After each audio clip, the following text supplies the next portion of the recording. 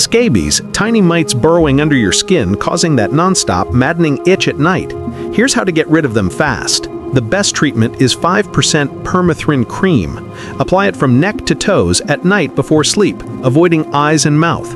Leave on 8 to 14 hours, then wash off. Repeat after 7 days. And remember, everyone in the family must be treated to stop it from coming back. But treatment alone won't do it. Wash all clothes, sheets, and towels in hot water above 50 degrees Celsius or seal them in a plastic bag for 72 hours. If permethrin isn't available, doctors may use ivermectin tablets, benzyl benzoate lotion, or sulfur ointment, safe for babies and pregnancy but smelly. If itching is severe, use antihistamines. If skin gets infected, take antibiotics as prescribed. Always consult a licensed doctor for confirmed diagnosis and treatment.